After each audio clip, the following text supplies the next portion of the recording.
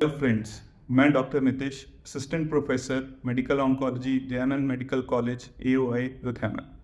आज मैं आपको बायोप्सी यानी कि बॉडी से टुकड़ा लेने में इन कैंसर उसके बारे में कुछ बताना चाहूँगा तो बायोप्सी जिसको हम बोलते हैं कि शरीर के किसी भी भाग से टुकड़ा लेना, एक बहुत ही कॉमन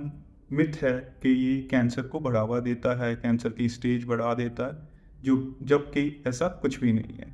टुकड़ा लेने से बहुत ही महत्वपूर्ण कार्य पूरा होता है कि हमें पता चलता है कि कैंसर है या नहीं है। दूसरा, कैंसर कौन सी किस्म का है? और टुकड़ा लेने से आज तक जितनी भी स्टडीज़ हम लोगों ने की हैं, उसमें कभी भी ये समझ, ये पता नहीं चला है कि स्टेज इंक्रीज होता है या नहीं। तो अब तक के लिए हमें यही समझना चाहिए कि टुकड़ा लेना बायोप्सी करना कैंसर के लिए बहुत महत्वपूर्ण है और इसके बिना इलाज